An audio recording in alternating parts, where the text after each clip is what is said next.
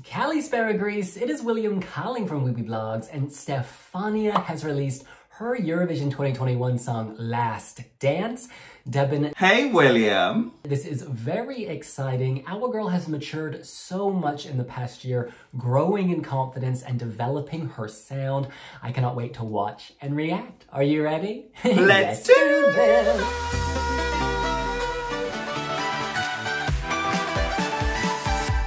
I am reading on wiwibloggs.com that this song carries the message that every end is a new beginning that seems highly relevant during the pandemic when people have had to switch things up in their personal lives, when people have lost freedoms, when people have lost loved ones. Uh, there's a lot to take in and maybe this song will resonate with people as a result. In any case, it is time for a first watch of Last Dance. Hitting pa play. Girl is going on a walk. This is a late night. Oh, the streets are quite empty.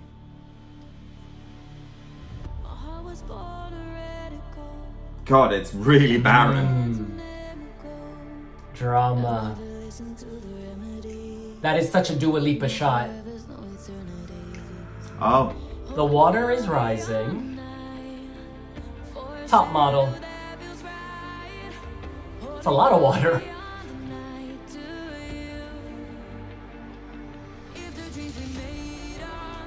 Running would be a good idea. Go to high ground.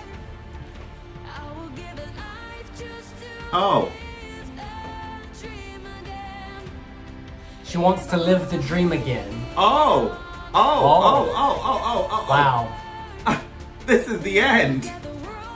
This is cinematic. Don't jump, whatever you do.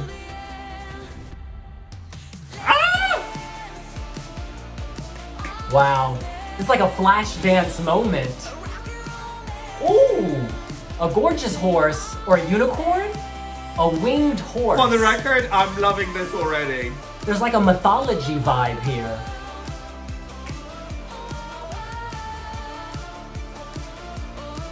Saved by the flying horse. The Never-Ending Story. Love that movie. Wow. This looks so expensive. And she's riding it so effortlessly. Oh my god. Midsummer's Night's Dream, honey.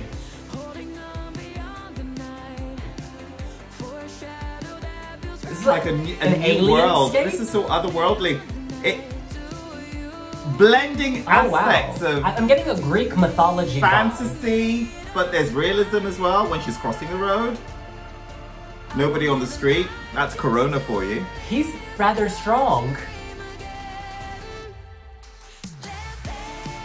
Oh! Wow. They look like Greek statues. The white marble. Rock and roll man! Or they aliens. Close encounters of the third kind. Good dancing. This is good dancing. Oh! Someone's water broke.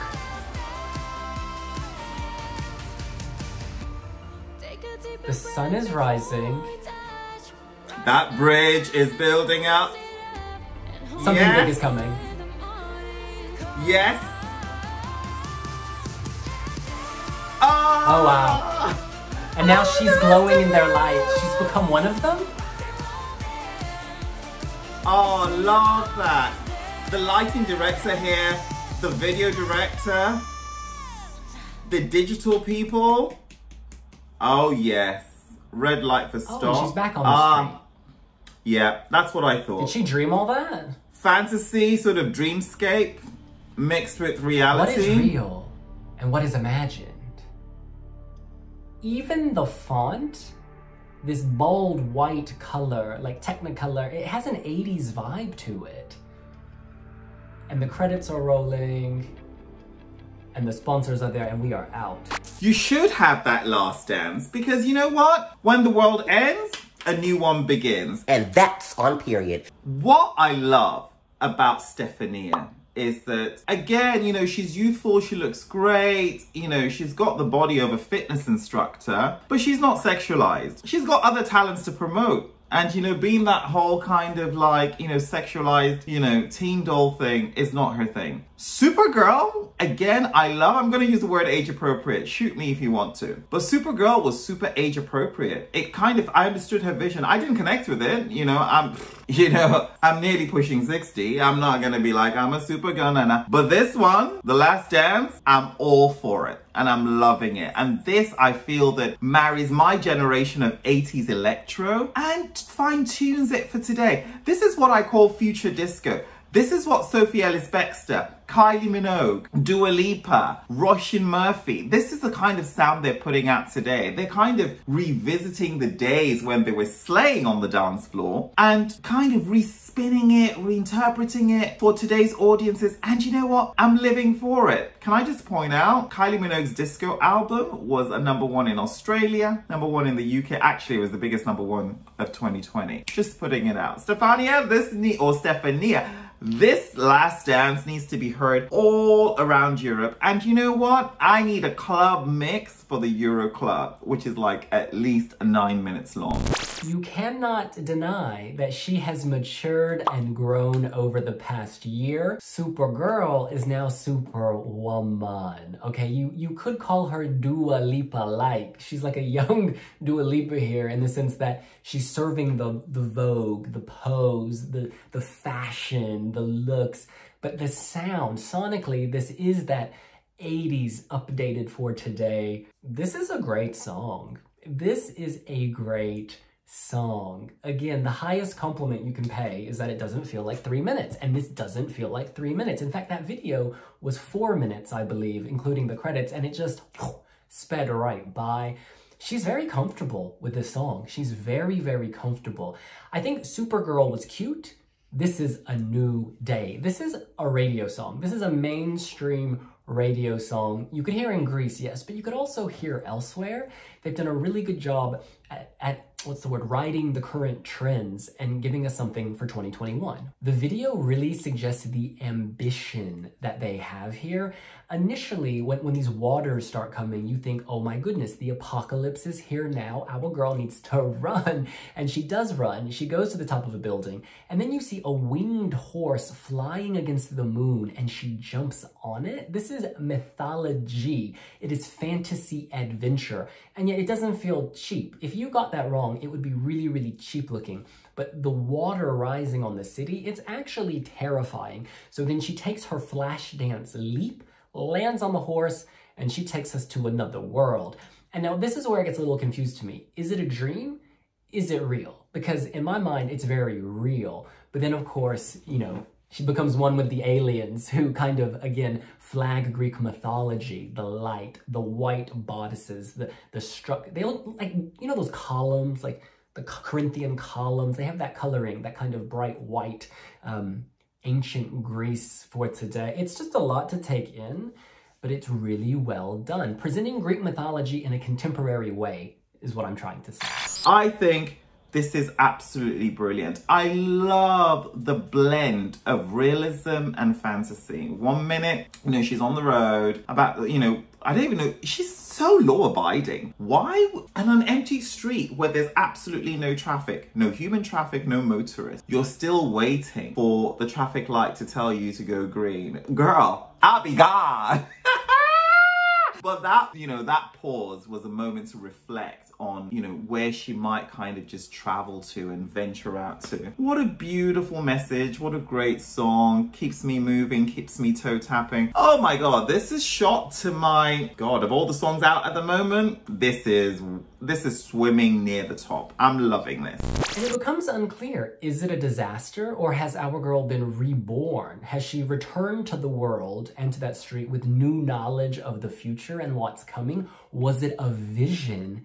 There's so many different ways to interpret that. Musically, melodically, in terms of structure, I love this. It has a clear shape, it reaches a point, she gets to show off the voice towards the end in particular. It's got a vibe, you can move. I guess my one reservation is at times I'm not so clear about the lyrics. I understand maybe 80%, but there's some moments in the verses where I, I kind of have to struggle. I don't think people often care about these things, um, but I'm sort of obsessed with lyrics, and so when I can't transcribe them instantly, I get annoyed, and I think with this I would struggle to transcribe everything. Um, but that can be fixed, that can be tweaked. That's just a matter of practice. I think what's important here is that they have the song, they have a performer who is infinitely more confident this year and who's just ready to attack, and then they've got some sort of visual, you would think, because I don't know if they'll translate this video to the stage directly, but they certainly have the ambition and they have a visual identity in mind. Rock and romance? Uh, yes, the two go together. They're very complementary. And in three minutes, she tells us that they should go together. Yeah, some people can say that, okay, she didn't write this song, you know, it was kind of manufactured for her and stuff like that. Keep it real. Music industry, that's what happens, you know? But it's about, okay, I've been given this. How can I market this? And she does it super, super, super, super well. I hope vocally that she can, you know, deliver at this level, you know, during the rehearsals and, you know, I don't know if there's going to be any Eurovision parties, uh, but during live performances, will we jam at home perhaps? Um, yeah, I really, really, really like this. Love it, in fact, love it. I think this is really promising.